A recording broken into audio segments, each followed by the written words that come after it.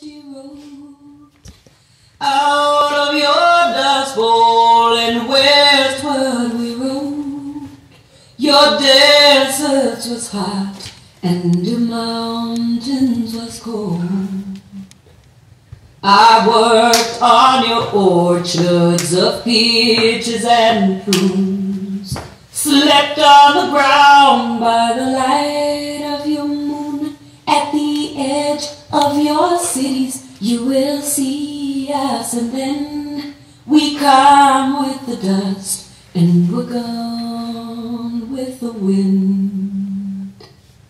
California, Arizona, I made all your crops, but it's no thought to Oregon to harvest your hops. Dig the beads from the ground, pick the grapes from your vines set on your table. Your light sparkling wine. letting go. It's not enough deciding to open.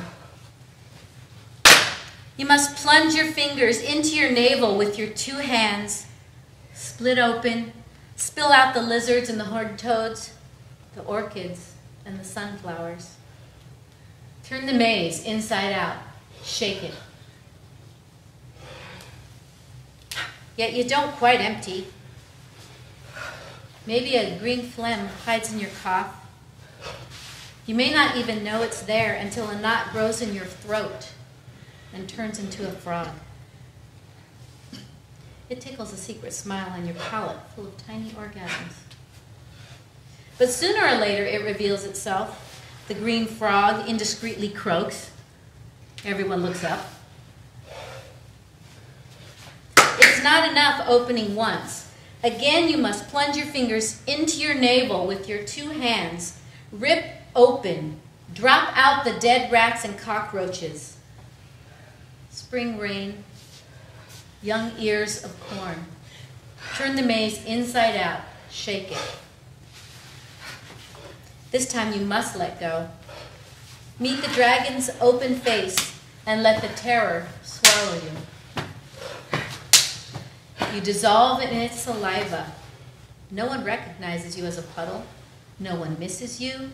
You aren't even remembered. And the maze isn't even of your own making. You've crossed over, and all around you, space. Alone with nothingness.